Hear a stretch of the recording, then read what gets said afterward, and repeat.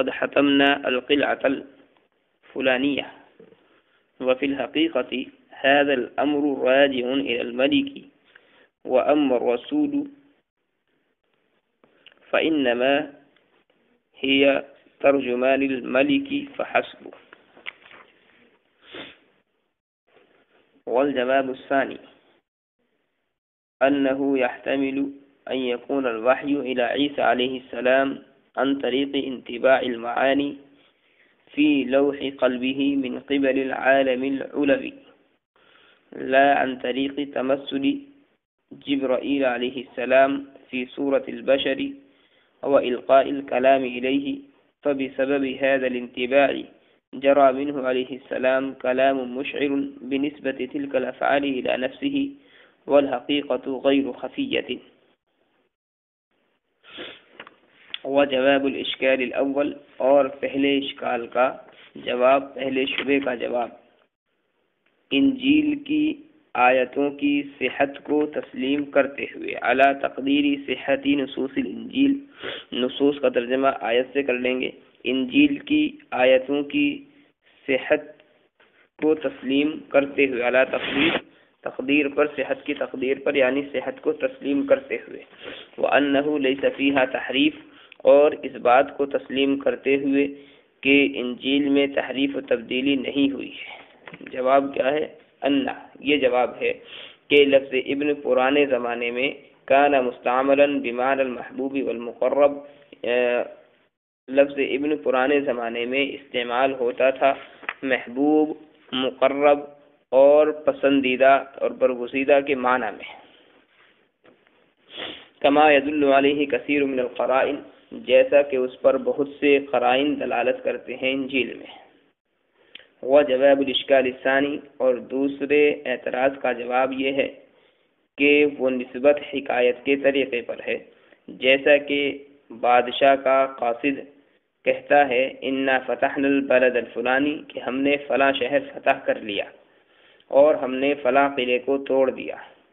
और हकीकत में ये अम्र लौटता है बादशाह की तरफ़। व अमर रसूल फ़ैनमा है तर्जुमान फ़हज़ब और बहरहाल कासिद, वो सिर्फ़ बादशाह का तर्जमान होता है। और दूसरा जवाब ये है अन्न यहतमिल के अहतमाल है इस बात का कि हज़रत ईसा सलाम की तरफ़ वही आती हो। अन तरीक़ इंतबामानी मजामी के छपने के तौर पर उनके दिल की तख्ती में आलम बाला की तरफ़ से, मिन कबल आलम बाला की तरफ़ से। लान तरीक़ तमसल जब्राईल आसमाम फ़ी ना के हज़रत जब्राईल आसमाम के इंसान की सूरत में ज़ाहिर होने के तरीक़े से वलक़ाइल कलाम इलही और कलाम पेश करने के तरीक़े से।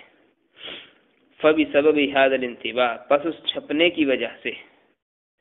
जरामिन सलाम कलाम मुशर जारी हुआ, हज़रत ईसा की तरफ़ से ऐसा कलाम।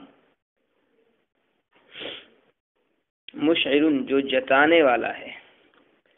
उन अफ़ाल की अपनी तरफ़ नस्बत करने को। वल हकीकत गैर खफिया, और हकीकत हाल पोशीदा नहीं है।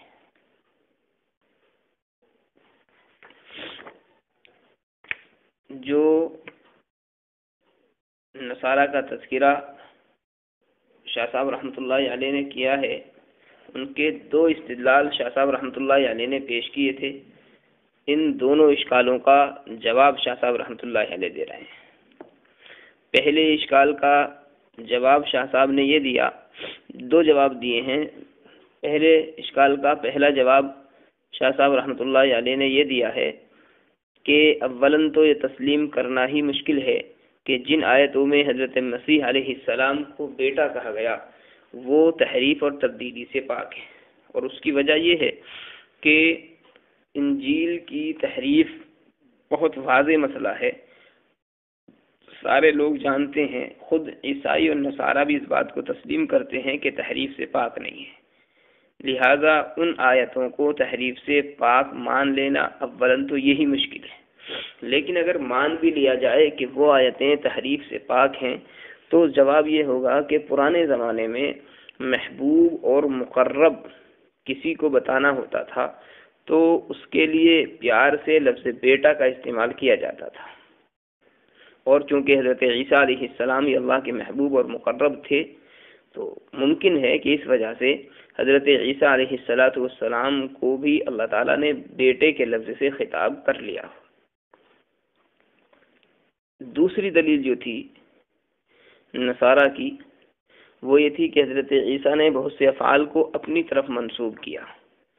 तो शाह साहब रहमतुल्लाह उसका जवाब देते हैं कि हज़रत ईसा का बाद अफ़ाल को अपनी तरफ़ मंसूब करना ये नकल और हिकायत के तौर पर था।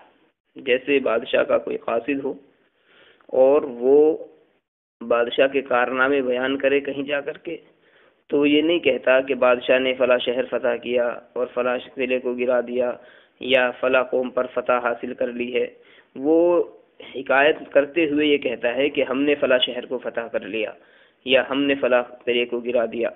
अब ज़ाहिर बात है, ये तो सिर्फ़ तर्जमान है, ये सिर्फ़ कासिद है, इसने तो कुछ नहीं किया।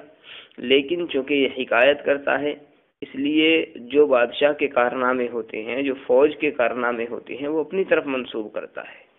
तो इसी तरह हज़रत ईसा ने भी बाद अफ़ाल खुदाबंदी को अल्लाह का रसूल होने की बिना पर, कासिद होने की बिना पर अपनी तरफ़ मंसूब कर लिया हो तो इसमें कोई बहुत नहीं दूसरा जवाब शाह साहब रहमत ने यह दिया है कि हज़रत ईसा के पास, हज़रत जब्राईल सलाम, हो सकता है कि बाबा वही लेकर के इंसानी शक्ल में ना आते हों। बल्कि अल्लाह ताला की तरफ़ से बरह रास्त मजामी इल्का फरमा फरमा दिए जाते हैं। जैसा कि आका सल्लल्लाहु अलैहि वसल्लम पर भी ये हुआ है कि बहुत से मजामी बरह रास्त इल्का कर दिए गए। तो मजामी जो इल्का फरमाए हों, हो सकता है हज़रत ईसा सलाम ने मिन मान उनको बयान कर दिया हो, जिसकी वजह से बाद अफ़ाल खुदाबंदी की नस्बत हज़रत ईसा की तरफ़ हो गई हो। इसलिए नसारा का इन आयतों से हज़रत ईसा की उलूहियत पर इस्तलाल करना ये गलत है। ऐसा तो कुरान करीम में भी बहुत सारी जगह पर हुआ है कि अल्लाह ने फ़ाल की नस्बत अपनी तरफ़ की है और फिर नबी सलाम पर वो आयतें नाजिल हुई। तो मिन वान नबी सलाम ने वो पढ़ करके सुनाई है और बज़ाहिर ऐसा मालूम होता है कि नबी वसल्लम ने नफ़ाल की नस्बत अपनी तरफ़ की हो। हालाँकि वो सिर्फ़ हिकायत है। जैसे उलिया इबादीन अशरफू ए मेरे बंदो आप कहिए ए मेरे बंदो, जिन्होंने अपने ऊपर ज़्यादतियाँ की। तो मुशरफिन जो हैं, वो तो अल्लाह के बंदे हैं। नबी सलाम के बंदे तो है ही नहीं, लेकिन यहाँ पर जो नस्बत है, वो आका वसल्लम की तरफ़ है तो यहाँ पर भी यह हिकायत है। तो मुमकिन है, हज़रत ईसा सलाम की नस्बत यहाँ पर कहा गया है कि हज़रत ईसा ने अफ़ाल की नस्बत अपनी तरफ़ की हो, वो इसी तरीके पर नस्बत कर दी गई हो।